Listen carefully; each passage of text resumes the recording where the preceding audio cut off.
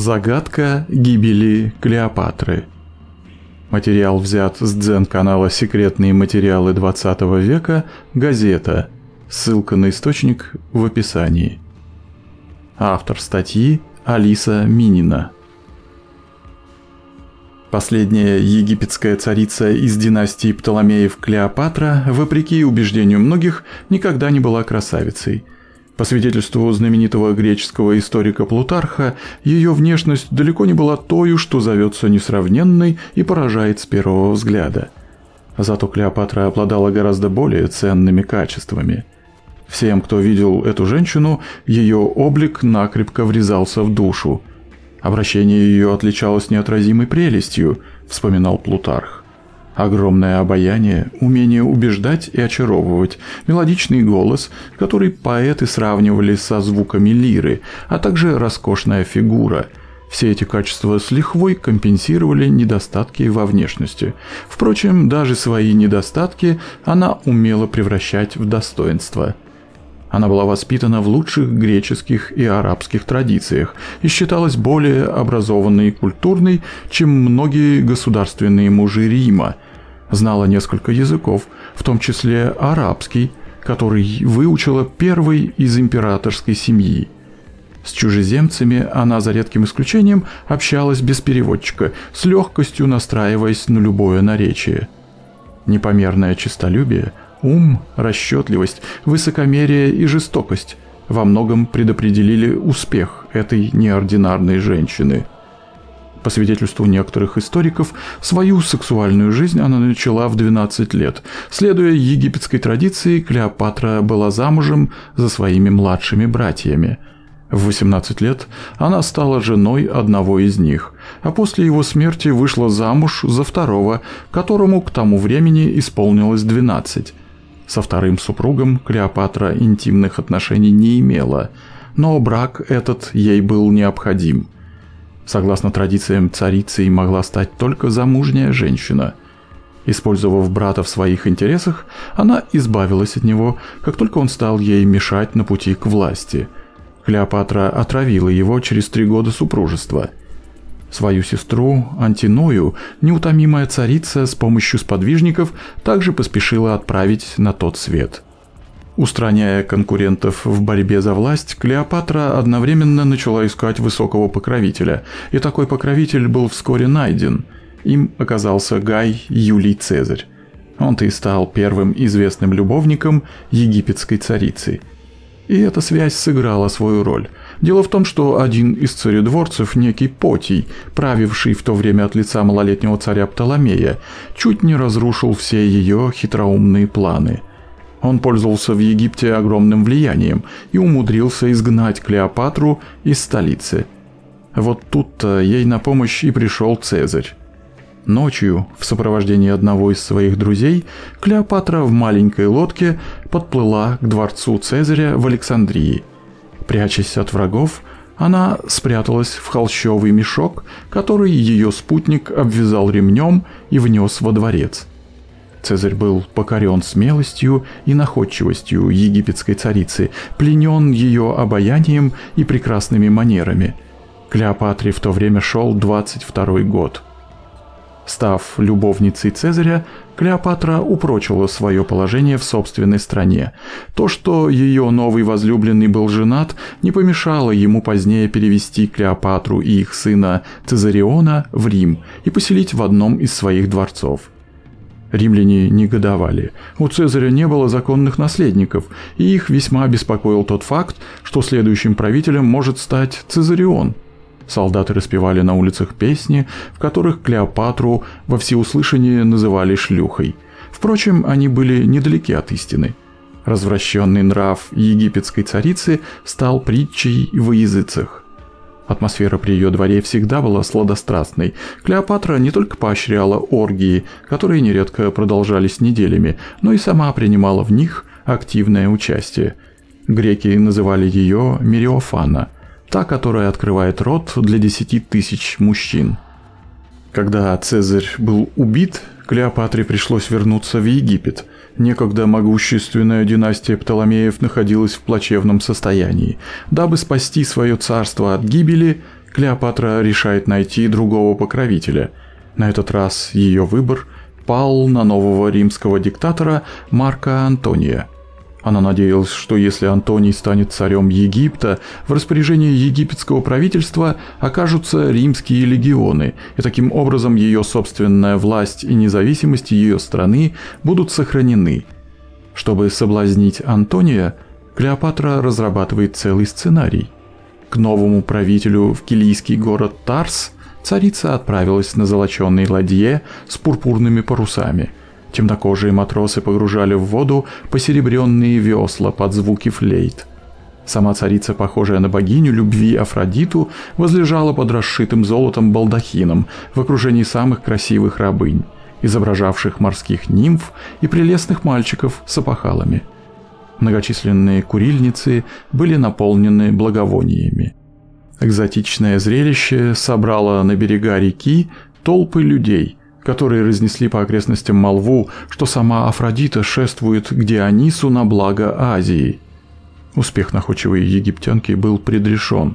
Антоний, подобно своему предшественнику, не смог устоять перед ее чарами – Новый римский правитель даже позволил Клеопатре увести себя в Александрию. Царица не останавливалась на достигнутом.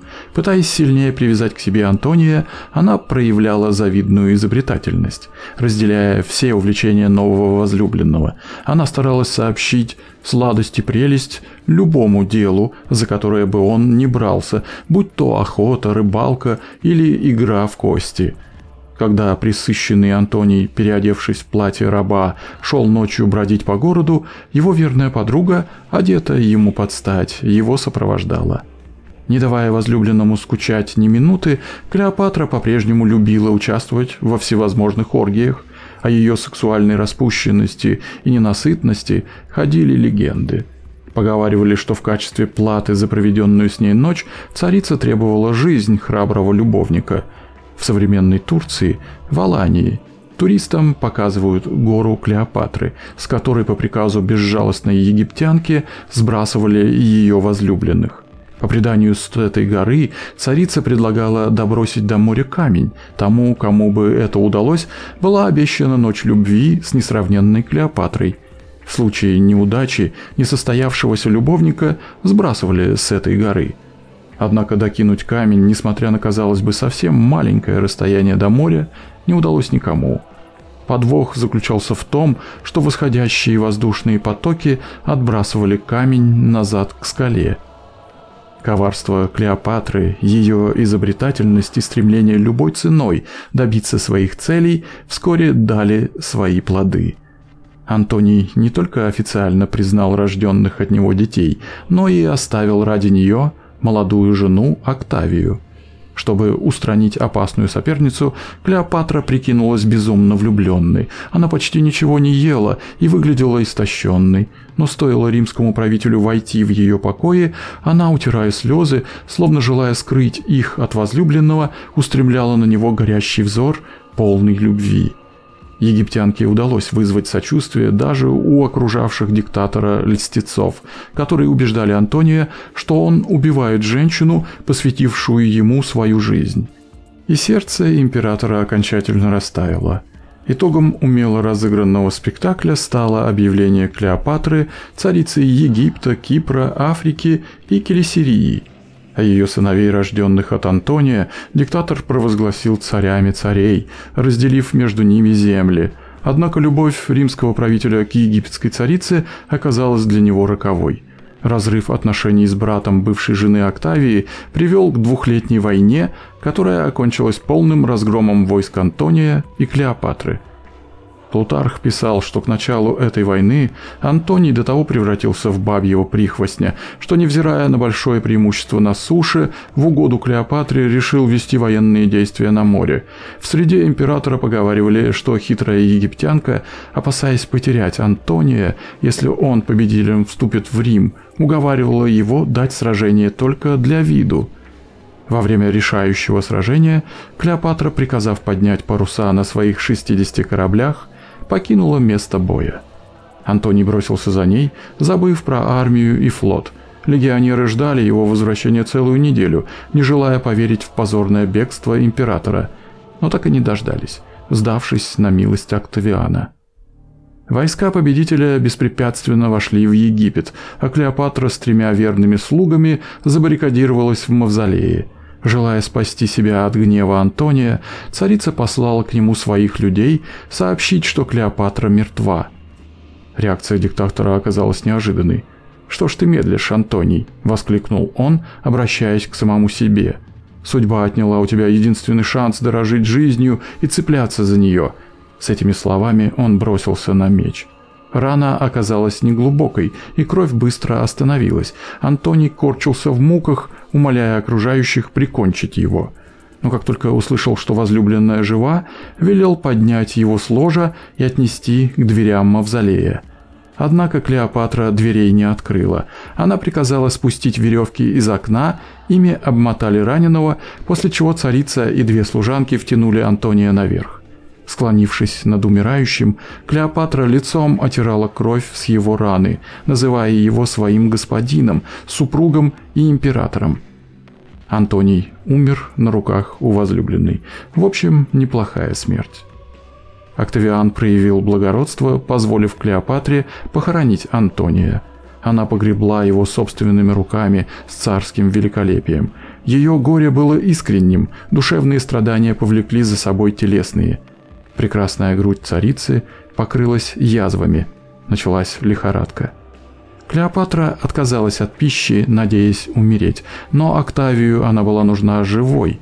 Мечтая увеличить свой триумф, он рассчитывал провести гордую Клеопатру, закованную в кандалы, за своей колесницей. А дабы пленница не покончила с собой, он пригрозил ей расправой с ее детьми. Клеопатре пришлось подчиниться – когда Октавиан навестил царицу, она вскочила в одном хитоне и бросилась ему в ноги. От былого очарования царицы не осталось и следа. Волосы свисали клочьями, грудь покрывали струпья и кровоподтеки, взгляд потух.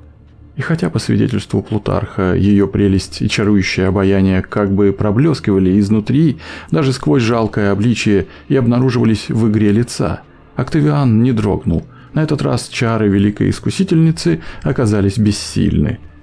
Тот день стал для нее последним. После купания она возлегла к столу.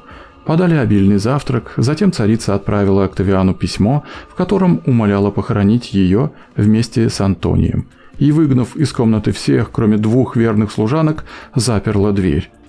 Когда Октавиан прочитал письмо, то сразу понял, что произошло – его подданные взломали дверь, на золотом ложе лежала мертвая Клеопатра в золотом царском уборе. Рядом корчилась в агонии одна из ее служанок, другая, пошатываясь, поправляла диадему в волосах госпожи. По мнению некоторых историков, Клеопатра умерла от укуса змеи, которую ей принесли вместе со смоковыми, спрятанной под ягодами и листьями – Другие считают, что змею держали в закрытом сосуде, и царица выманивала ее, дразня золотым веретеном, пока та не выползла и не укусила подставленную ей обнаженную руку.